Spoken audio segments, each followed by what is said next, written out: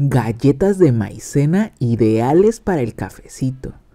Esta receta es bien práctica e increíble para las personas que no pueden consumir harina de trigo, porque esta al ser de maicena de fécula de maíz es libre de gluten.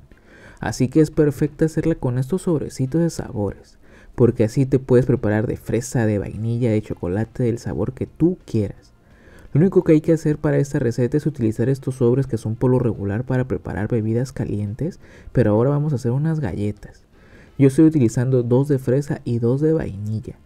Estos los vamos a agregar en un tazón junto con una y media cucharada de mantequilla, un huevo y para endulzarlo unas 2 a 4 cucharadas de leche condensada. Si te gustan las galletas dulcecitas, agrégale las 4. Si te gustan las galletas que estén simples, solo agrégale 2. Yo en mi caso solamente me gusta que tengan un toquecito dulcecito, así que solamente agregué dos y voy a mezclarlo perfectamente. Lo increíble de hacerlo con estos sobrecitos es de que ya no hay que agregarle nada más. Así lo vamos a mezclar muy bien y van a agarrar el color del cual estés preparando. Yo en mi caso esos que son de fresa, pues mezclarlo tiene ese colorcito de fresa bonito. Al final le agregamos un poquito de polvo para hornear y ahora simplemente lo vamos a mezclar nuevamente y lo vamos a dejar que repose unos minutitos mientras preparamos el otro sabor. El otro sabor que yo voy a utilizar es sabor vainilla. Igual son dos sobrecitos y los voy a vaciar sobre un tazón. Voy a hacer el mismo procedimiento. Si tú lo prefieres y no quieres hacerlo de este tipo, puedes utilizar maicena natural y agregarle todo el sabor que quieras. Pero al hacerlo con esos sobrecitos vas a ver lo práctico que es hacerlo. Es para unos días que tienes prisa o simplemente si no quieres complicarte las cosas pero que quede rico, hazlo de esta manera.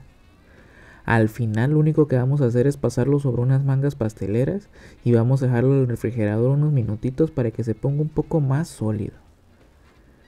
De esta forma lo vamos a repetir con ambos sabores. Sin utilizar nada más vamos a llevarlo así para que esté en el refrigerador. Después de que ya pasó unos minutitos en el refrigerador, vamos a utilizar una charola con papel para hornear. Vamos a cortar la punta a nuestra manga y vamos a agregarlo directamente. Ojo, si quieres que te queden perfectas, hazlas muy pequeñitas porque estas en el horno crecen.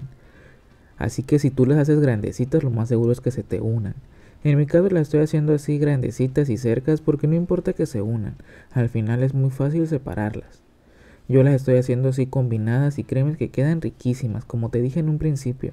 Si no te gusta esta combinación, puedes hacerlas de chocolate y vainilla o de fresa y chocolate, inclusive de sabor nuez, hay muchos sabores. Ahora sí simplemente le voy a llevar al horno a 220 grados durante 9 minutos. Y pasado ese tiempo así nos quedaron con un color increíble, crecieron bastante, quedaron suavecitas, bien ricas y miren cómo se separaron los colores, bien bonito. Así de fácil tienes este increíble postre en minutos. ¿Quieres más recetas de postres así de fáciles con poquitos ingredientes? No te olvides en seguirme. Eso me ayuda muchísimo en compartir el video y déjame en los comentarios unos emojis de postres para saber que sí llegas hasta el final. Como siempre, mil gracias a todos ustedes. Mi nombre es Edgar y nos vemos hasta el próximo amigos.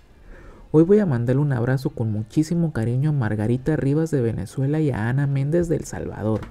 Les agradezco muchísimo todo lo que me escriben.